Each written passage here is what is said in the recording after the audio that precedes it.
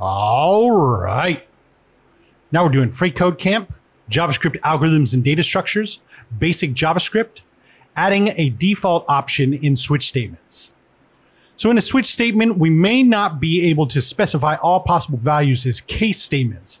Instead, we can add the default case, pardon me, the default statement, which will be executed if nothing, pardon me, if no matching case statements are found.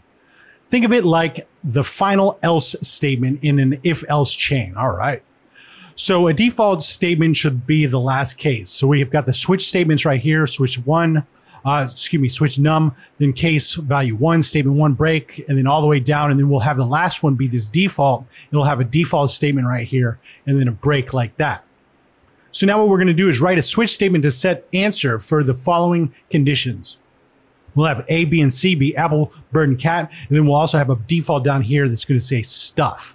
All right. So let's come over here and we'll start off by saying case. And then since it's, since it's an A and not a one, we're going to make this a string and say A. And then we'll have the colon right after that. All right. And then down here, we're going to say, uh, answer again, just like the last one equals, uh, what was it? Apple like that.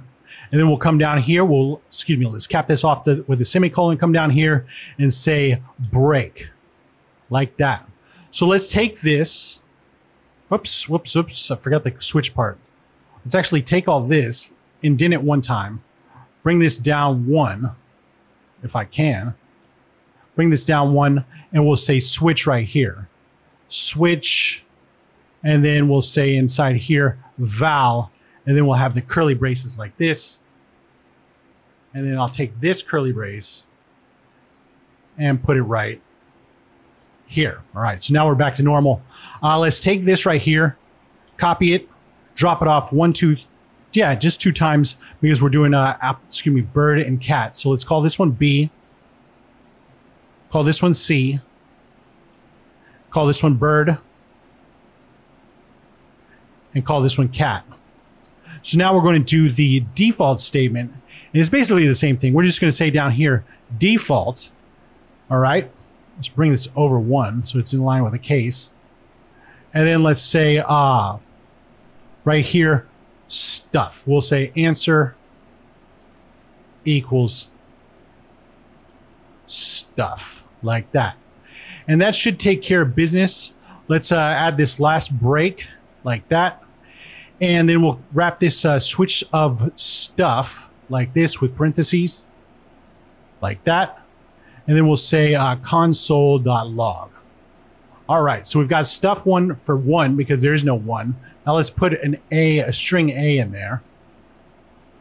Apple, B, bird, C, cat, and again with D, it'll do stuff. If it's nothing in there, it'll also do stuff. So anytime anything that's not these, it's going to go for this one right here. So let's run it. Looks good and submit it. All right, now we're on to multiple identical options in switch statements, and we'll see you next time.